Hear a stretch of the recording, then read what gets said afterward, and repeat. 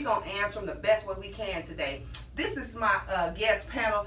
Most of them you know, but we have somebody new. But we're going to start from this end and we're going to work our way on down. What's up? Hola, boys and girls. I'm Montina. Uh, hello, I'm Kimberly Thomas. I'm Ken Ward. Andre Caesar. Yes. And wait a minute. Kim, that is quite a nice shirt you I have. love the shirt. This is like the best shirt I've ever owned. Yes. It is uh, hashtag. I'm just saying. I'm just saying. with Meme Michelle. And Meme Michelle. um, thank you, Incredible Screen Printing, for always hooking me up and doing quality shirts for me. If y'all want y'all shirt, inbox me. I do take the cash out. And if you're in town, it's twenty hot dollars. If you're out of town, it's twenty hot dollars plus five dollars for shipping and handling. All right, the drink. What'd you say? You said that? Mark, Saw Mark, Mark Mark, shirt. Mark had a Mark shirt had a shirt, Oh, wait a minute, Mark did have a shirt. He was on the fa- those the Father's Day gifts. Shout out to Mark Lane. yes, yes. So let me tell you about this drink of the day. Oh my God, wait a minute. Let's come on, Kim. Let's sip it. Let's sip it. Mm. In honor of Mr. Vincent Davis, I made the sidecar with a twist.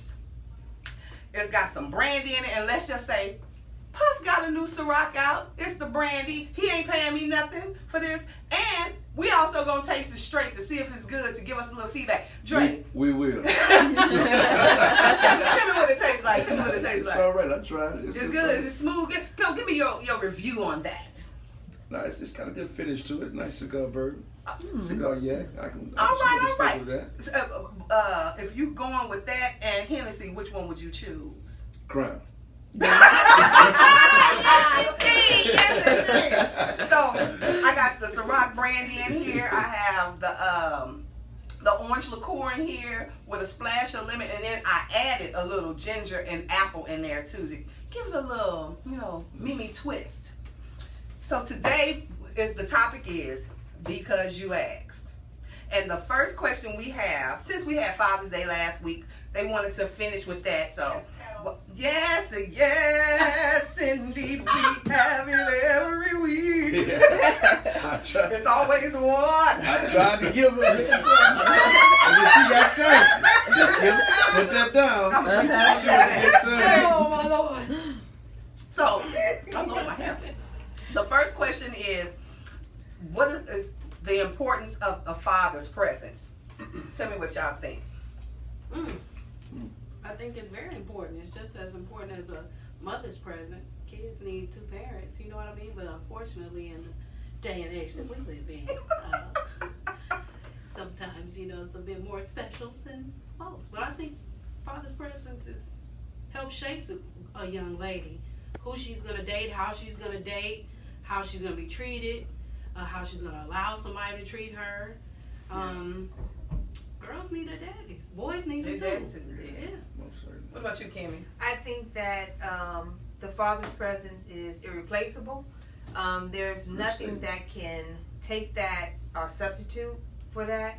And quiet as it's kept, um, those families that have do not have dads or role models that are fathers, long later on in life, they still long for that. I don't Mhm. care if you're 30, 40, 50, there's still a Yep. void there. So that's just how important fathers are to Amen. uh, the homes, the, the families.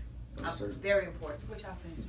I agree. I think, you know, father is very important. You know, I grew up in a single family home and, you know, I had a lot of male figures in my life outside of my home, like my basketball coach, Can we talk my about grandfather. that? Yeah, we talked You about know, that.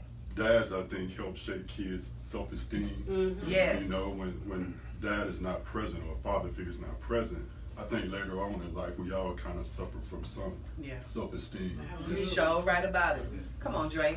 Um, Come on, knowledge. I, I think first and foremost, you know, God created man to lead, right? Mhm, exactly. Not just with his with his woman or his wife, but his family. Mm-hmm. You know, um, I, I was raised in a two parent home. My father was very pivotal in my life. Uh, he used to always make a statement: "Takes a man to raise a man." Mm-hmm. You know, and uh, and he uh, he was one of the best in the game. Being a father of all daughters, though, you know, I think you know you have to really embrace that role of being the first man they fall in love with. Mhm. You, Better know, you, you kind of sculpt the development of their queendom. You know, Come on and if you don't, you know, and if you do that properly, uh, you don't have to worry about them when they go outside the front door. Absolutely. You know, they'll be well prepared. So y'all both have daughters, right? Did y'all take y'all daughters on their first date to see how they should be treated by a man, or just kind of guided them in that direction? Oh, absolutely, man. My daughter did a daddy daughter dance. I think when she was about nine years old. Mm-hmm. So you know, I wanted, I always wanted myself to be that first encounter she had. Amen. You know, as with another male figure. Uh, you know, just opening the door for her, just doing little things, Yeah. and just setting her expectations high. I, You know, so when she goes out into this world, she she'll already know kind of what to expect and how she Yes, wants to be treated. I, I always cut corners with my daughters. From the times they was in car seats and boosted chairs, I load them up and we rolling. So we going to the barber shop. I'm going to play dominoes. I got my diaper bag. I got Yeah, pull-ups. yeah. I got nooks. I got forms. I got all that. My daughters roll with me, so that's been since day one. They formed my best friends. Mm-hmm. But when they started dating, all the dates started in the living room. I know that's right. Yeah, they mm-hmm. like you know you, you get old enough to date and you just take out somebody's car. Your He had to first couple of months. Of, no, no, they, your first couple of months of date in the living room with the family. You dating the family. You know what I'm? Yeah, yeah. We, we you know we watching TV, we watching sports, we cooking, we, we, we I need to know you. Her sisters need to know you. Her Mhm, mom- absolutely. we, we, we, we all gonna be in this. Doc, Yes, you know what I'm saying? So indeed. you got you got you got to pass a calculus mm-hmm. test Yes, Up in- up in- indeed. in his Yes, living room. Right. in his living room first. Yeah. Okay, their second question was parenting. The good, the bad, and the ugly. Y'all go, cause I don't have any children. Mm-hmm. Oh my. Mm. Man. We- Ah, come on, TT. Okay, my from my experience, I'm a single parent. I've all I've never been married, so I have a, I have a daughter, and I thought that uh, raising her young was gonna be was the most difficult part. Mm-hmm. Actually, I can go back to that tomorrow, today, because now it's you have an adult Yes. and you've made mis- I've made mistakes. I've So, done things the wrong way, and you all are. cannot stop them from going in that direction. So No you have to learn to take your hands off. And when I tell you it is it's nothing but Jesus that keeps my mouth closed Take sometimes Yeah. because you have to step back and that's the hardest thing to watch your child moving in a direction but you can't you gotta you gotta, gotta let, let them 'em do it. you Yeah. gotta let them do it mm-hmm. themselves and that's the hardest thing about parenting for me to, to see the mistake coming and you Yes, know it's a you mistake, know And they don't but you have to allow it to happen. yes You gotta, especially when Yes. they grow, you gotta allow it to happen. yes You know, yes that's a must. that's so hard So I have a teenage boy. Mm, Mm. please pray for me. I, I, I've never prayed so much all, all my life. He just turned 18. He's driving. Like you, when he was little, that was my ace. It's, they know everything. yeah Can't tell Um, them nothing. no, you can't tell him nothing. Mhm. Uh, nothing. I hope he's watching. You can't tell him nothing. Um, but I, I wouldn't trade it for the world.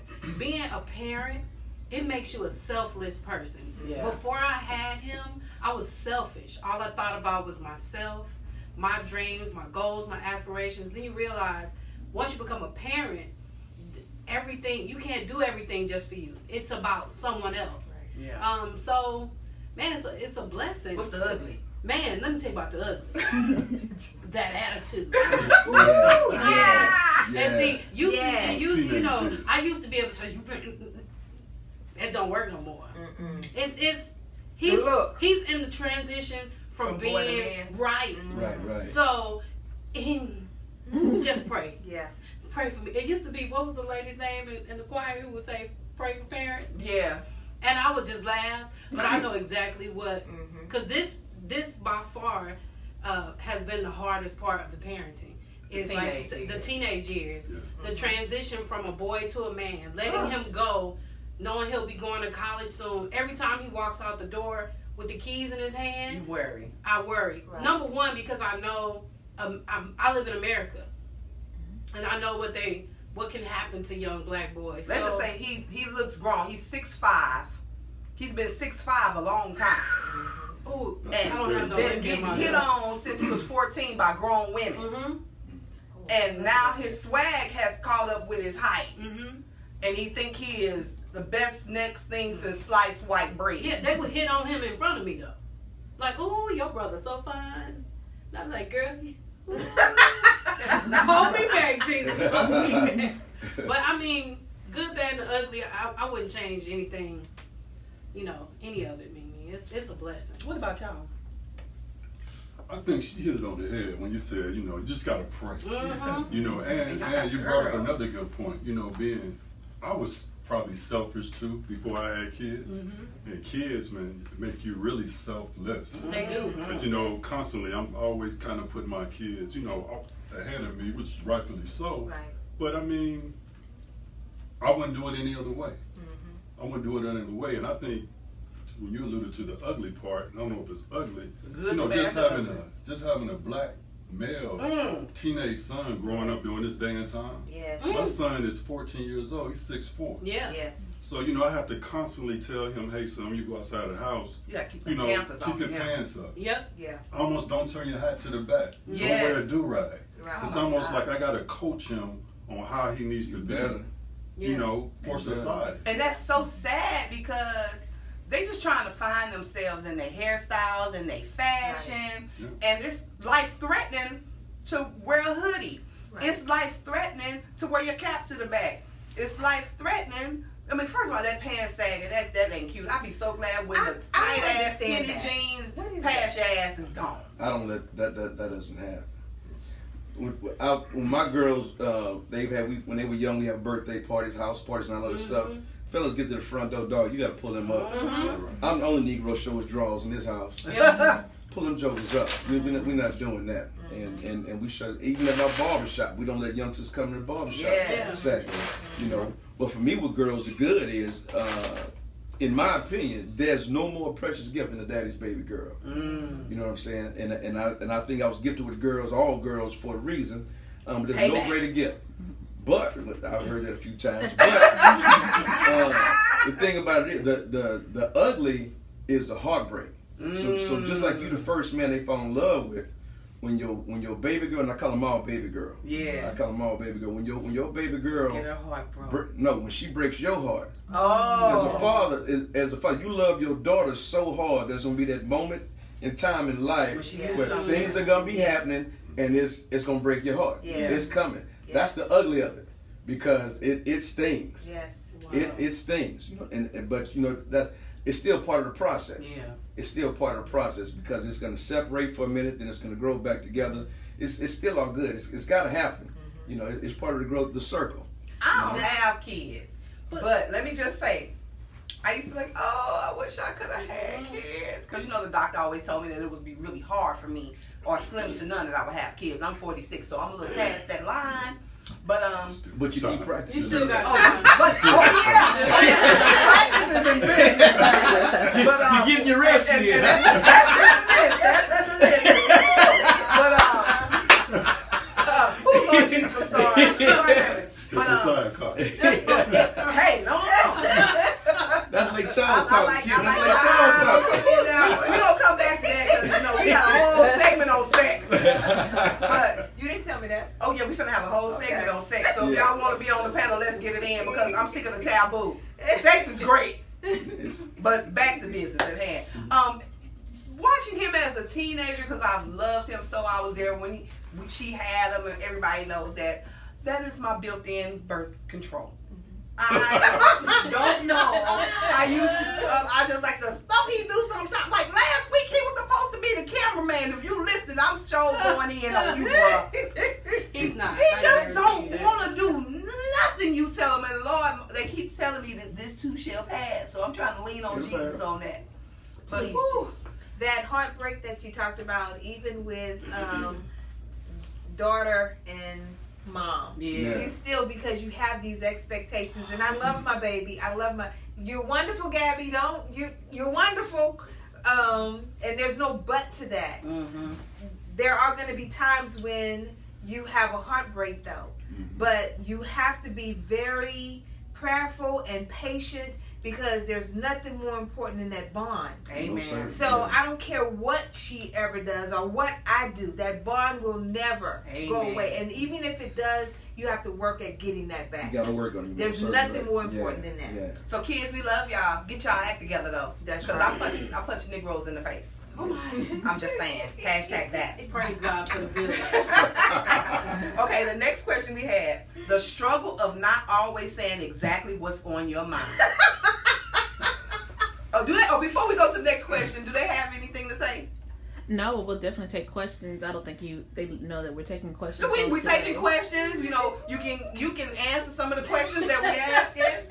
I mean, y'all can get on in. Y'all know how we do it. So, y'all ready for this next question? Yes. The struggle of not always saying what's on your mind. Woo! Look at him drinking water. I He think- always got that one. You know, Anybody- alkaline water. Anybody who works. Hmm. Sometimes it's just best to be quiet. Yes. Yeah, right. I think that's.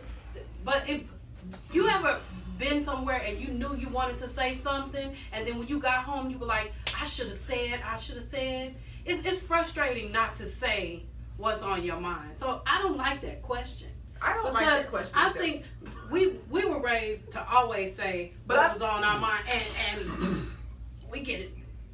Yeah, I got a lot of Trouble trouble a for that. But I think the question came from some people don't know how. To say Like some people don't know how to don't know how to speak what's on their mind, and they get trampled on, they get ran over. Then some, I think the the questions has two sides.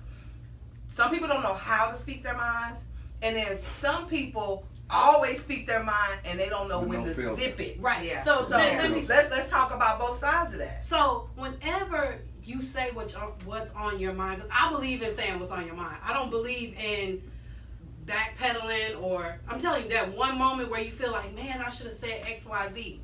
Say what's Always on your it. mind, but always be mindful of what you're saying Mhm. because it's not how you say it; it's how it's perceived, right? Most certainly. Oh, So always, I, I, I tell my son all the time, always walk, talk, think, speak, in with excellence, right?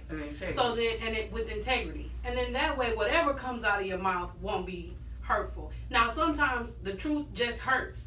You know It what is I mean? Like right. like a wife saying to a husband, "Do I look fat in this dress?" Well, baby, out of the dress, you still. Yeah. Don't ask your husband a stupid question like, "Do I look fat in this dress?" I ain't He- never because he loves you, he's gonna say, "Look good to me," or Yeah, I'm still, I'm still gonna get it. right, regardless, Yeah. right.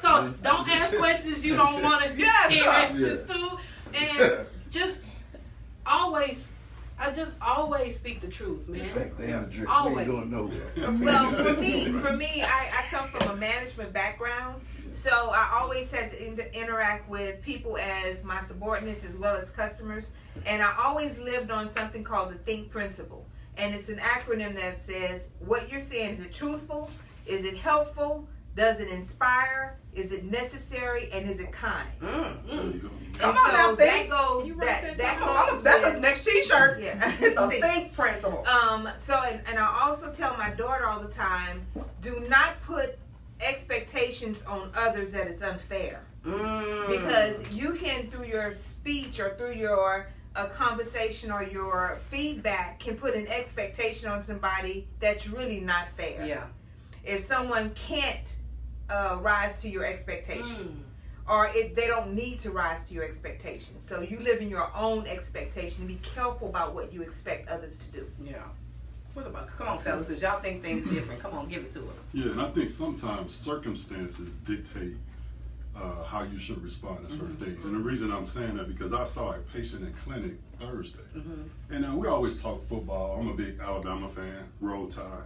They're at Texas A&M, so we were just talking, and um, you know, she was like, "Well, you know, God uh, created this world and this country, and I love Trump, and Mm-hmm. if my boy, them boys need to kneel, I and coughed on that. you know, being I'm in a work environment, so I had to really step Yeah, back reel in. because I really wanted to get in on that conversation. Right. With it. But you know, I had to show some. I had to show a lot of restraint. Well, that nickel down, But in doing so, I had to show a lot of restraint. You know, because you know, in that environment, you know, we were always talking. you, know, you Professional. shouldn't discuss religion, exactly. politics, Exactly. things like that. But I left there in the last two days. That's really been Bother bothering me. Yes. yes, because I feel like that was an opportunity for Yes. a great conversation I could have had. I don't know how it would have went, but it's probably good that I didn't kind of Right. elaborate on that. I just kind of let them, you know, speak their opinion. I just kind of nodded and moved on. Yeah, When it comes to politics, I kind of I kind of pass upon it a lot in the workplace as well. My biggest thing is uh, talking about the girls again. I've always raised my girls pretty firm and pretty wide open with no filter. We talked about everything, everything. You know, fathers, if you have daughters, make yourself available to talk about everything. You may not want to hear, but you want to hear. But in, in the reverse of that is sometimes when when they when they are veering off the course, they're doing things that they shouldn't be doing. When they when they screwing up, you know, I go in, right, and uh, and and sometimes by going in is a little too firm for you. for, For how to receive it from from daddy, Gotcha. you know. And then I put myself in a position where I've got to go back and, and I got to apologize, which which I take no shame in Yeah. you know, because you you have to show your children that uh, apologies are necessary because you will make mistakes Yeah. and how to do it. Right. You know, but but more so than not, I don't I don't have a filter. I don't have a No, you a- a- do not. a- a, uh, I don't have a stop. You know, if it's on my mind now, I, I may not I may not give it to you just just flat out like I'm feeling it. Yeah. But you will understand if it, if it's if it's a it's, if it's a firm response. It may not be how I really want to give it to you. Right. But it'll be firm enough for you to know you struck a nerve or this is where I stand and you need to understand it. These are the boundaries and don't step over that line kind of Right. deal. So, Right. you know, there, there- there's a palette for it, you know, but you know, again, my you know, my, my parents are old old school country Louisiana folks. Yeah. My mama from Oberlin, my daddy from Eunice. You know, I'm from Lake Right. Charles. You know, you know, hey, hey, boy, if it's on your mind, say it. Don't walk like a crawfish. So, you know, like like a crawfish. I am using that. Well, here's my thing. I remember, believe it or not, younger, I was very, very shy. And I never spoke my mind. So when I got to that point where I was like 13, well, 12 going on 13, I had a night. conversation with myself and I was like, you can't keep living like this. What that nigga say? She What never met her. I never met Prom that. night. man. You showed me. I said, what about prom night? You just speak But I was like, if you keep living your life like this, I remember my mom had moved to Houston, her and my sister were here, and I was staying with my grandmother. And I was really, really shy, like the quietest kid. Like You was if- yeah, and in my quiet time, like I really don't talk a lot, believe it or not. So I was on the airplane when I left St. Louis to come here, and I was like, you cannot be shy when you get there. You cannot. I had a long talk with myself. So my suggestion to you is, if you're one of those people that don't know how to speak your mind, man. Okay, I know the, the Bible says that the tongue is a sword, mm-hmm. but you Wait. have to speak how you feel, because if you don't, people will run over you. Now I I am that person that I'm easygoing. If my crew like, what you want to do? I don't care. We can eat wherever. We can do whatever. And like people who are not my friends, they think I'm a pushover. No, contraire, moon frere. That's not the case. I'm easy I going, but I still kick I ass. know that. It I ain't, know what that. you, Okay. it ain't always what you say. It's, It's how how you you how say say it. it. It's not what you say, it's how you say it. So Absolutely. speak your mind, but speak it in a way where you're not offensive. You can be firm but not offensive. Well, Anything that's out there. Courtney? Must um the someone said the struggle for me comes when I speak my mind to someone who acts like they want the help, but then I speak truthfully and then they don't act, say, or do or have the response that they want. Do I that look I fat want. in that dress? Because you know what? Or makes me build a wall and then I'm done. Sometimes people don't really want your advice. They just want a listening ear. They just, Yeah, they just want to vent. They just want to. Vent. They want to. And hey, don't keep telling me stuff if you ain't gonna change. Just roll. Okay, you. Um, okay. All right. Let's go get these drinks. Let's go to Taco Cabana. Okay. so I'm gonna go off the list. I'm gonna come back to the list because I got a question today. How do you tell or have to talk with your children about sex? Go. Just Mine was real. straight up. Oh, Keep it real. Straight right up. between the It was straight up. You wanna I didn't safe. sugar. I didn't Yeah. sugarcoat it. I didn't beat around the bush about it. In fact, she was like, "Mom, mom, please, no, no." But I wanted her because I grew up in a in a time where you didn't talk about sex. Mhm. You were ashamed of sex. Hell, these kids tell you more were, than you need to know They now. were learning stuff at at school that was just so totally backwards and not true. So I wanted to make sure that she and I understood that this is what it is and Yeah. not to be ashamed of it not to Yeah. be ashamed that's a part of life Right. now i don't want you to do it till you 45 50 years old but still i want you to know Good luck with that. what what Yeah. almost.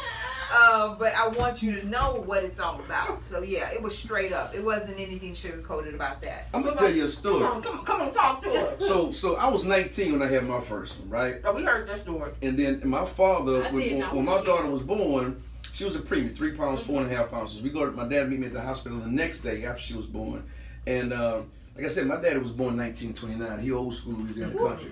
So he said, um, he said, boy, look at that girl, you know. And I said, I'm looking at it. He said, no, boy, look at that girl right there. Mm. I said, I'm looking at it. He said, no, boy, look at that girl. I said, I'm looking at it. He said, tell you something right now. Someday, somehow, some way, Mm. somebody's son gonna sleep with her. Oh my God! On the day of the birth. Now, my, my baby might be 15 hours old, right? So now, when he first started that conversation, I'm looking for a hallmark moment. You know, like, you know, something you know, real poetic. You know, I'm looking for some Nikki Giovanni kind of thing coming out of Daddy Mom. out of nowhere. Nah, he, he just went straight back to Wilfred Caesar. Somehow, some way, someday, somebody, and he, you know, and I'm being kind on how I'm placing this, right? But the thing about, but he said, he said the difference between when it ha- between today and when it happens is how you prepare for it. Hey, All right. Oh, You know what I'm that's saying? wonderful. So that's that way you ain't got to kill nobody trying to stop it. Nobody ain't got to Mm-hmm. kill you when you're in the hospital. Somebody in Right. jail. The way you prepare for it is the difference between Yes. today and the day it happens. Yes. Tr- Best That's advice real. you could have ever given me. Yeah, That is awesome. yeah. Man. Yeah. Well, uh, we grew up in an unconventional home. We had a, a, a single parent, you know, mom. Mm-hmm. And uh, one particular day, um, she lined up some fruits and some veggies, and she she had a brown paper bag, and she emptied that thing out on the table, and she put this stuff on sticks, and she said, "This is a condom." I didn't get that. Yes, you did. Did You I was at the same, too busy worrying about Ronnie's cookies. that was probably before Ronnie. She said, "This is a condom. You pinch the tip and roll it down." And she made both of us. You must have been drinking something. Uh-uh. Pinch the tip and roll those condoms down on all the different. She said, "You put the condom on. It's safer. You know it's on right." She said, "Always protect yourself." Um, I was scared of sex. There was nothing you could tell me that was gonna make it fun. I didn't want to touch. It was slimy. Why you making me do Let me drink. this? But I was well aware of how to stay safe. And the one thing I wish we would have had conversations about was like orgasms and mm-hmm. when I'll you have sex out. and it don't happen for 10 years. Mm-hmm. Is this fun? She told her it was for sport. Yeah. She told me to be Oh yeah. Dude, we had two different two conversations. totally, uh, two totally So different when I, conversations. I became a parent, I was like, look, bruh, I can't stop you from having sex. I can prepare you. By the way, my mom had already taken the, she had already given them the conversation before the brown paper bag. get to him. The brown paper. He was paper trying them on. She would have at our house a drawer Yeah. with condoms in them. Not saying you have permission to have sex, But if you do, But if you be do, You safe. going there? be safe. And there was a thing where if the if the bag becomes empty, I ask The no drawer. questions. I just refill it Yep. Mhm. because she worked in drug rehab, and they had the condoms on hand Because- there. Mhm. So she would bring the condoms home, and she was like, "If this drawer gets empty, I was supplying the hood. Hey, hey, we we, we don't need you to get hip and dipping flint vitamins. We don't need you to have a kickstand on your vagina. We don't need you to be leaking. So I'm gonna need you. To, you Yeah. need something out this drawer. That's when AIDS was. It really, Really became big. like a big deal. Like you know, people were Yeah, afraid. the late 80s. Yeah, you know, it, it- I was too young to even understand what sex was. Like it was scary to have her put that stuff in the semi. But I'm aware. How did you tell your daughter? Um, we actually just had the conversation. I flat out told her. We talked about bodily parts. We talked about personal hygiene. We talked about, you know, the differences between what guys want and what they don't want, and when you should and when you shouldn't. Um, there wasn't a question that she would ask me that I would not answer for her, even today. Because just because she's older now does not mean that there's still not questions. Right. Right. Uh, you were talking about orgasms. I didn't even know what an orgasm was until I was like, forever. I'm like, That's that old school. You be like, I wish what I am so Zoom in on my sorry. You know, but honestly, Oh, I didn't baby. under, I didn't Yeah. understand. We didn't have that conversation. Oh, said, goddamn shit. Ah! I mean, just let's, let's be But but I'm being honest If about you it. I go didn't know. I didn't know. I- I, didn't, I didn't know. she didn't have that conversation. No. with, my mom didn't have that conversation where No. okay, this is what's No. gonna happen. And I, like the first time I experienced it, I was in my twenties, and I, I thought my leg was broke. this nigga here.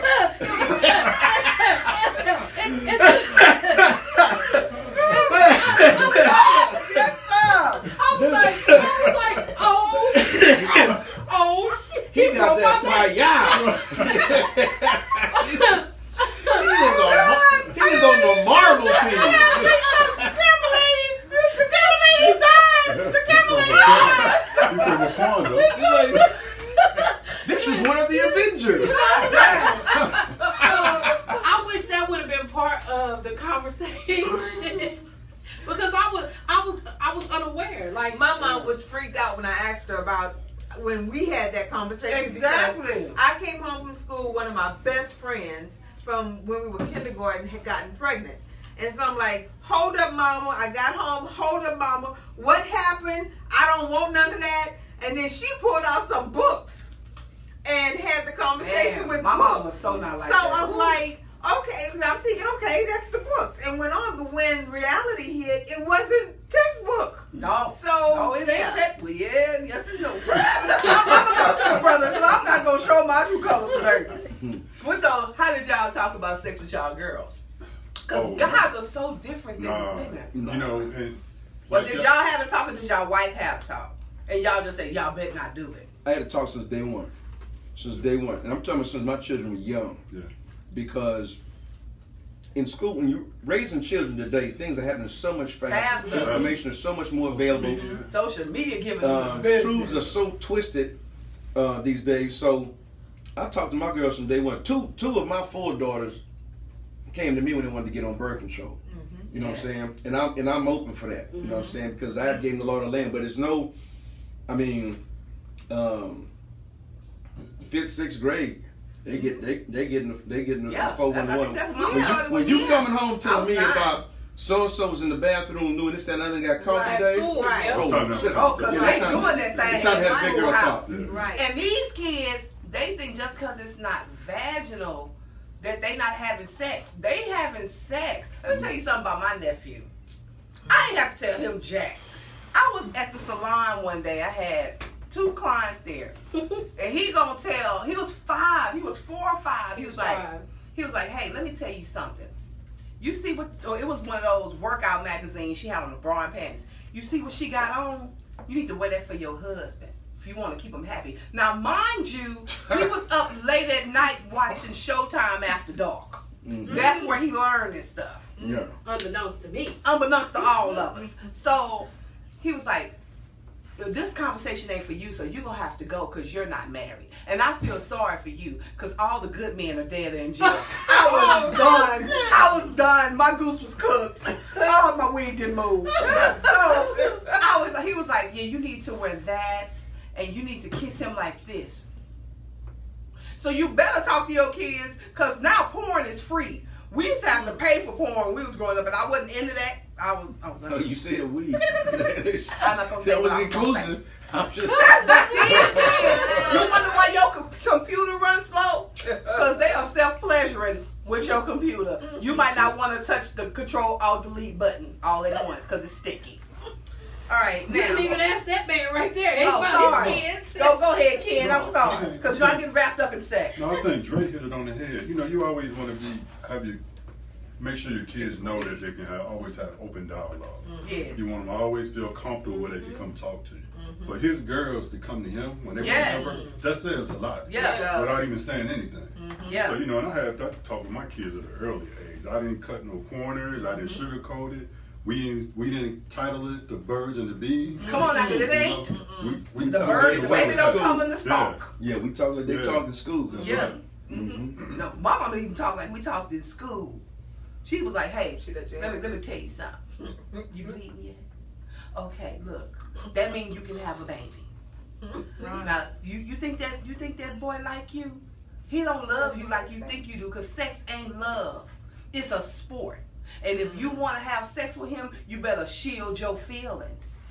So Yeah, you, I you, I don't love him. Yes, you do, because all y'all do is argue. She broke me down. She, she was like, so um, let me just say, if if you gonna have sex with him, cut your emotions off. But that was a bad conversation. It was good at the same time, but it was bad. Get that one. Cause I was like, for a long time, I was like an athlete. I mean, same guy.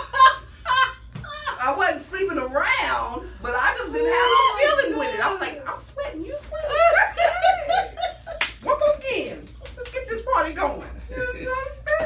I am special education. Don't hurt me. Charge to my head and not to my heart. Oh God. All right, so. please. So So look, look, the next one, we might not hit all the questions because it's a lot of them. We So, not. We um, will not.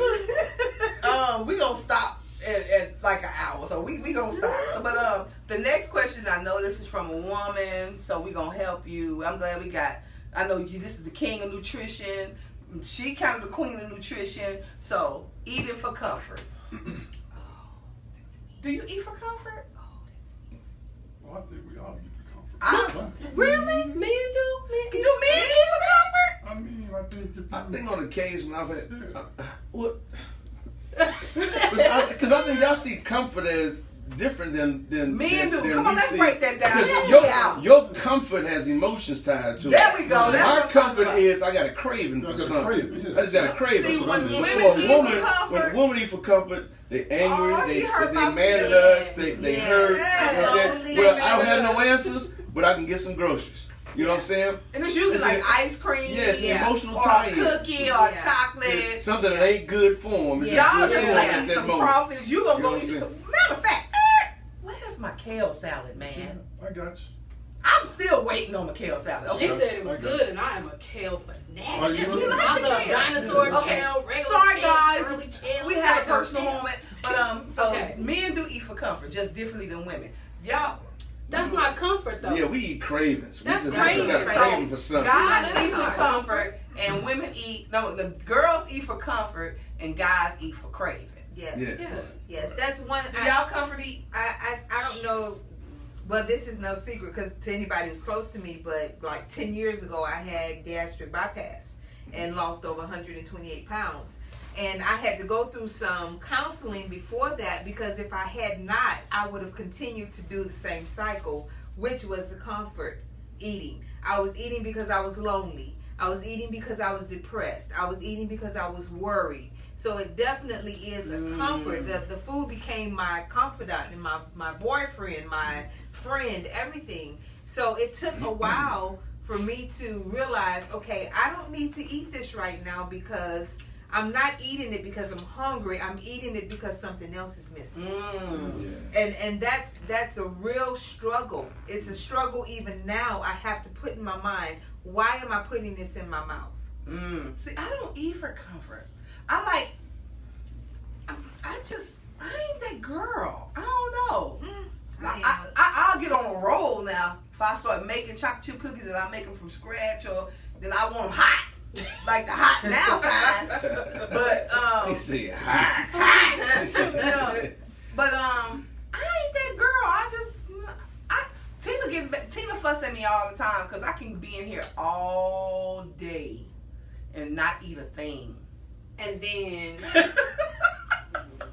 Shut up. And then so I'll cook, I And eat. then, you take me on a date, it's going down. Like, she'll come and make like a like a like a dinosaur plate. Like it'll be like this big and like rising to the top. And I'm like, whoa. if you really? think I'm gonna have the, oh, I'll just get a salad. Yeah, I'm gonna get a Mm. salad, and I want that burger. I eat. I run the hills, but I'm gonna eat. So I mm, enough about it, girl. Are you addicted to busy? Let's go to the next question. You no. Oh, I see. So uh, the camera lady, right? She, she No. In a bad way. in a bad way. In a bad way. Do you feel like if you're not I Doing can't something? sit still. Yeah. You ask you ask my wife and my kids, I said, Daddy, you always on the go. You always doing something. I, I can't sit still. I get I I went this morning. I got up. I went and did the uh, the uh, the Juneteenth parade in Fourth Ward. Mhm. Had to go run a couple of errands. I went home. I kept the grandbaby for an hour and a half. I'm here, and then tonight, the bros. We got some oh, things to guess go that do. That's you know what I'm saying? get out there. You know, we just, you know, I- but that's a norm for me. I, I can't sit still. My mind is always working to What do about something. y'all? I'm so goal oriented that I what I am addicted to is like I won't stop until it's done. Like Okay. if I have like a project, it's it it almost will like I I can't stop. I don't know how, but I'm not addicted to busy. Like, hey, I can watch Westworld all two seasons, pick up and be like, woo, you know. But if I'm doing something, like I'm Camera lady, you got something to say about being addicted to busy? I think it's just a advice, just like you know, food or anything else. You Yeah. find something that you either are comfortable with, or you like doing, or it's your niche, and or if you've been doing it all your life, Right, right. then it just becomes the norm. So then you just get used to finding something to do. It's the hardest thing to be off these two days, and it's really just normal. So Yeah, yeah. But just to sit, I'm not gonna wash clothes. I'm not gonna go to the grocery store today. Or there are some emails I can check. There's something to not do it. Yeah. It's seriously hard because you're used to always being Being active. I think people who are, if you want to call it addicted to busy, that's fine. But it's the hustle, it's the grind. And if you don't hustle and grind, it don't get done. Right. And people want your shine, but they don't know your grind. Yeah.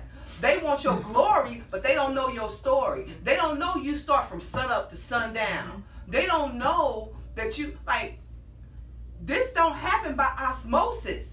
You know, you gotta promote. You gotta be online 25-8. You gotta put yourself out there if you want things to come to fruition. So I don't think that's addicted to busy though. I, I think that's a work ethic. it's a work Right. ethic. You know what I mean? But So- that's what I'm trying to say. Some people are addicted to busy, like just doing stuff that means nothing all Yeah. day long, just for the sake of moving around. Get but your when you have people. a goal that you're you're trying to attain, that's totally different. For me, be coming from corporate America and now being self-employed, it it's definitely a different hustle. It- Um, yeah. So I can remember when I was in corporate America, you know, I got off at six thirty, seven Let's o'clock. It's done. But now that I'm a realtor and I know if I don't move, I don't eat. Mhm. You know, I find myself sleeping with the phone, or you know, first thing in the morning, I am on the phone, or I'm I'm my I am busy. Even if I try to sit and watch a show, in my mind, I'm thinking, okay, did I get that client, that client, that client? But I don't think it's an addiction. It's because I want to perform with excellence first of all, and then I know if I don't, I won't get paid. Come on. So y'all. it's it's better. It's more than not being busy. It's that's about performing with motivation excellence. behind Yeah. So Yeah, what, what y'all different. think? Uh, Because I skipped y'all. I struggle my with bad. I struggle with relaxing. Uh, my, my wife always telling me I'm doing something like I I'm never in the bed past seven o'clock a.m. I Okay. feel like if the sunlight I was coming gonna through the rewind the window, taping. I thought you was. I'm missing my- I'm missing out on the whole day. So I'm always doing stuff and got projects going on and, and these are mostly things of interest. Yeah. I'm like you too. Yeah, I'm goal oriented and you know if there's a goal I need to reach, I'll do whatever it takes to get there. Mhm. But I'm just talking about just things that I just enjoy doing, like just hobbies and things like that. Because the Bible say rise up early and settle late. Right, right. That's what the words say. Can I share something that I, I, I read on um, with Facebook? The number 86,400. And that's the number of seconds in a day. Mm, okay. So every morning you get a brand new account with 86,400 seconds in Mm. it. How much are you going to waste? Mm. How much are you going to be productive with that 84, 86, 400? So when I find myself being complacent or worrying about something or, are not valuing that 86,400, I go back to thanks. Thank you, Lord, for giving me another 86,400 But let, and make sure it's productive each and every second. let me ask you a question. What if God is making you sit still? Mm. Why you had to go there? Because let's just be real. Sometimes, he- Say it again. sometimes He's just making you sit still. Yes. I mean, later on we'll talk about this right now, but sometimes it's nothing, no matter what you try to do, no matter what you want to do, no matter where you want to go, It shut it down. he, he just, Everything. three years. Three years of my life was shut down. I couldn't find a job. I couldn't get back into my same pro- pro- profession. he just shut it down. Doors are closed. But I realized that he had to remove those things from me so that he could have more of me. So of you your can time. see him. So I could see him Yeah. that he Yeah. became the most important Exactly. thing that I that he removed that addiction of that first and fifteenth, and so my life became Mm. more productive in another way. So you're absolutely right. There are times when that eighty six thousand four hundred needs to just be For belonging him. to him and nobody else. Yeah. What about you, Dre? Well, you know, she, she touched on eighty six thousand four hundred. You know, I had a, I had a brother in law who, who phrased it another way. Um, life from day one to day end is is a compilation of moments, Yes. Ooh. millions and millions of moments, Yes. right? So so in that eighty six thousand four hundred seconds within a given day, how many moments, meaningful moments, will you have in that day? Because when your last day is here, your last day is here. Amen. Right. And I think for me, uh, you know, my brother-in-law shared that with me. Chili Bill, shout out to Chili Bill. Hey, Chili Uh, Bill. Uh, in. maybe maybe 20 years ago, that was just his way of embracing the fabric of family, right? When we all come together, man, these are moments, man. These are wonderful things with them. And I think for me, I'm just always um, maybe chasing a moment. I, you know, I can't relax. I try relaxing and can't. Even when my body is in my recliner, my feet up, I got a crown on the table. You know, my mind is busy thinking like I can do this, I can do that, I can do that. You know what I'm saying? Like, you know, I can go, I can put another fuel line on this pressure washer. I can go get my truck washed. I can, you know, I mean, let me go throw some fish on the grill. Just, I say stupid, but it's not really stupid. It's just that I, I just, No. I don't know how to shut down, almost to a fault, Yes. almost to a fault. You know, and uh, I, I would like to have that switch. I just don't have it yet. You got I trouble think- sleeping? I think, and then I'm like, Courtney, do we have any comments or questions? Nothing. No, they I, quiet. I don't think I, I don't think I get in the deep enough sleep. they ain't saying nothing. It could be closed. that you need an air purifier and a better mattress. You know, And that would no, oh, I'm being, Yeah. I'm being completely. I completely. keep telling them invest in that. You need an air purifier. oh, really? And, yes, you need an air purifier and you need a better mattress. You need a mattress that's specifically made for your body. Right. That you because we people look at mattresses like this, but it's about the curvature of the body. Yeah. And then you need complete darkness when you are in your room, no light to No come in. light. Yes. Mm-mm. Yeah, I believe in that. Yes. You have to have moments of you have to have moments of good sleep. That's how the body heals itself. That's how your mind. That's that's how you get centered again Yeah. outside of prayer. Cause we can't run twenty four seven. Right, right. You know, you run a car and you never turn it off. It's gonna break down sooner or later. Right. So you have to You find reboot your time. phone. You reboot your computer. You have to find time to do a reboot. Like take a vacation with you and your wife where y'all just lay in the sun all day and drink whatever you Crown. drink. Mm-hmm. Yeah. Well, I know also, and this would be a whole nother topic at some point, but um, I was diagnosed with a, a mental condition that makes me to where I can't, if, if I'm in that phase Let's of it. I can't. Okay, so let me just say, I've been diagnosed with being bipolar type 1. Okay. So there are times when I can be extremely depressed, or there are times when I am off the chart.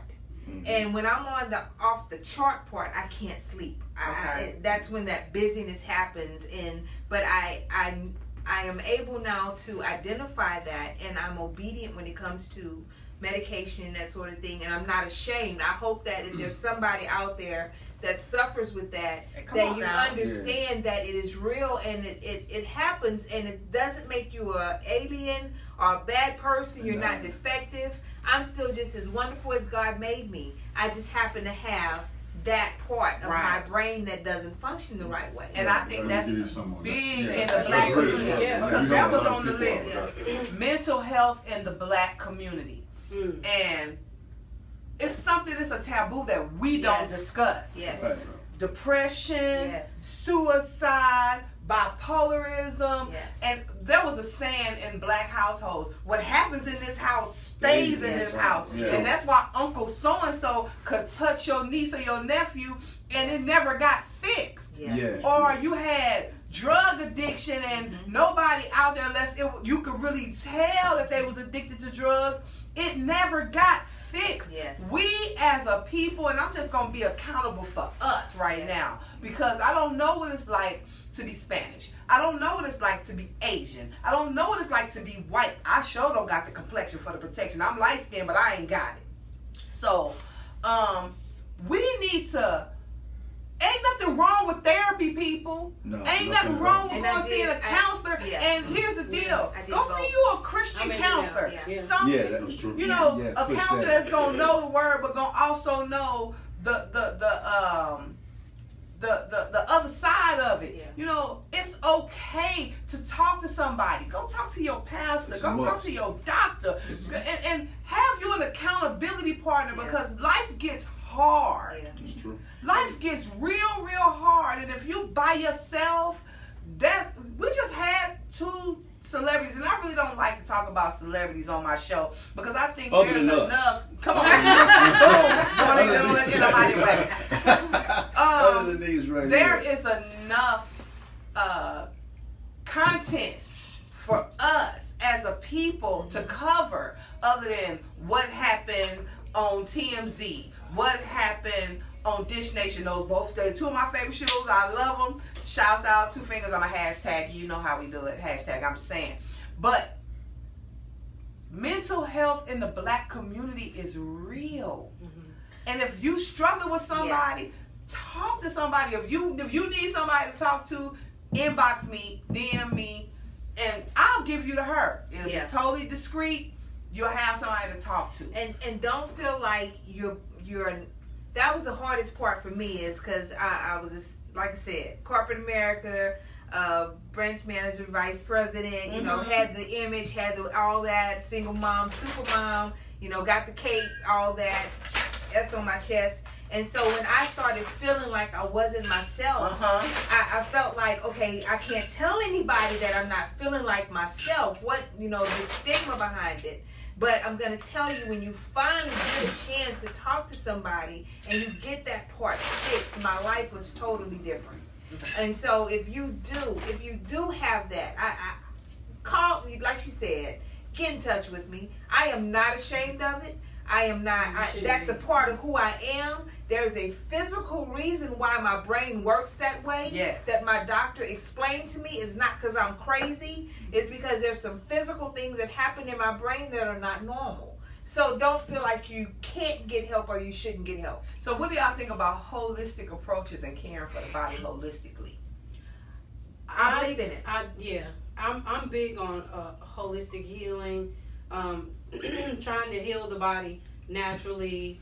Uh, I believe that God, when He created us, He created a perfect machine. That if you do, if you take care of it, it will take care of you. Mm-hmm. Um, and I'm I'm believe it or not, like I'm I'm big on treating my body well. And there have been times when I've abused my my body as well. So um, I've I've traveled a lot.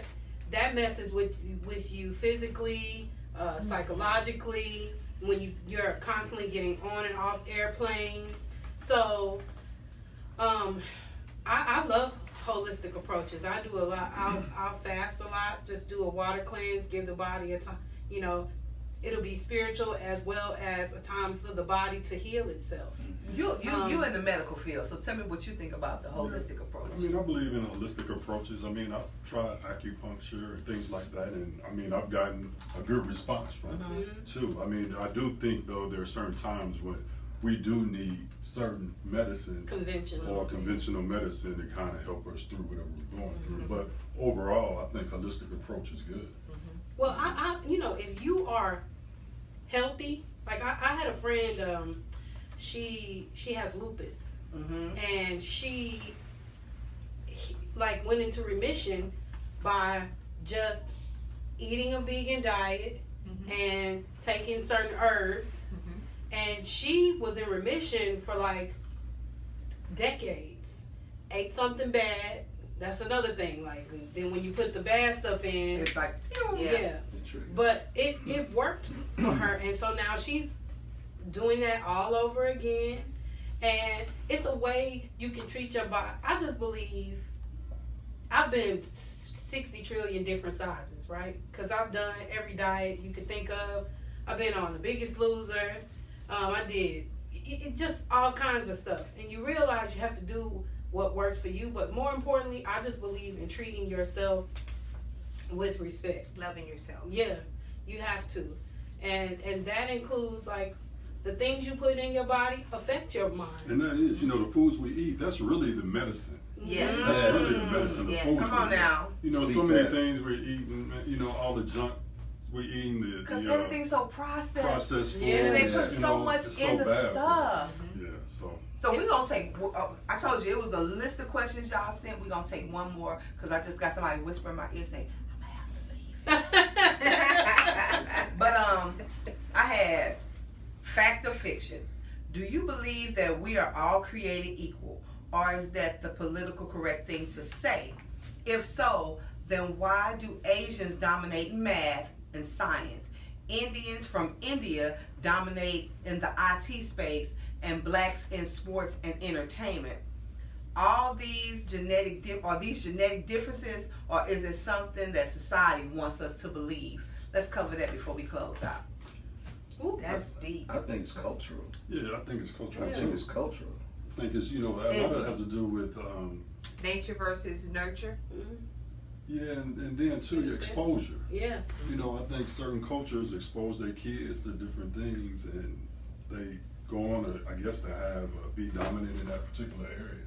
You, you talk about blacks in sports. We we we allow and even encourage and push our kids to to perform athletically uh, on a regular. From even before the days of AAU, we go outside and play all day, all night. The streets light came on, street, street lights now. came on, all that good stuff, right? Red light, green light. you know, in, in the Asian culture, they that, they're not allowing all that kickball and flying your kites and tackle me on the ball and all that. You need you need to be in here working on this calculus Right. in, Yeah, right. in kindergarten. Right. You know what I'm saying? Um, and, and, uh, and, you know, in, in the same in the same in India, you know, IT and computers would have you. it- They, they have their issues in their native country. They're able to flourish with that over here. I think culturally, we focus on different things. You know, Yeah. and I think every ethnicity is probably taking something for granted that another ethnicity is good at. yeah. You know, and and we have to be responsive to that. You know, we can't really blame anybody for that. Right. Uh, but when I say be responsive to it, what you know, my question is, what are you going to do different to improve it or make it better, right? You know, because you know, you, you our children can be just as good at mathematics I as an Asian child. believe that they Our are. children yes. can be just as good. I'm looking at the Uh, math in- in extraordinaire IT. in my face. You know, Yeah, I Oh, got two, yes. two of my colleagues. One was from Nigeria, the other was from uh, Palestine. And we were just having a conversation about kids and sports because they uh, one of them kids play soccer. Mhm. They were like when they were kids, their parents wouldn't allow them to play sports. Mm. They was Wow. like, no, you need to go, like Dre said, you don't go focus on this math or science. They thought it was a waste of time. Mhm. They didn't see the importance of it, Of sports. of sports. right? I see the importance. I think it teaches our kids how to be good team Teammates, players, yeah. Yeah. how to work Discipline. together, Yeah. how to set goals, and they can apply that in other aspects of their life. But athletes have a, a A discipline. Yeah. and a discipline like no other. You know, like I, my son, I always tell him sports is secondary. It's not 1st Mhm. You know, sports is a way for you to get a free college education. But let's not. I'm not. T- if you want to go to the NFL or wherever you want to go, I'm always down for. Okay, speak things as though they were. That's where you're gonna go. But I want you to be smart. If you're Yes. gonna go to the NFL, be a smart football player. Right. Be able to look at your your contracts and be able to work through those things. So The day that's dumb second. athlete is done anyway. Yeah, that's Yeah. second. That Oh, was yeah. the- Education the is late- the- first. Yeah. Nah, not Yeah. really. No. Not You think really. there's still dumb athletes? Yeah, there's plenty of it. No, it's plenty I'm, I'm of just them. saying. But I'm- I'm gonna tell like, you what, I'm- not I'm gonna like tell the you early Th- 80s. th- th- This, a- this is a huge topic at, at the barbershop. So you have, uh, because of deficiencies with the with the black fathers of Mhm, today, mhm. right, not being present, right. We have more mothers uh, trying to raise black sons, right. Now let let low income or poverty sneak in with that, right. Wow. So if your son can run fast, jump high, shoot a three pointer, make a mad crossover, hit a home run, Uh-huh. then as a mother who's in poverty with him or her and probably four or five other kids, you know what I'm saying? You first thing you talking about in second grade is he going pro. Right? Mm. That's your focus because that's the ticket out.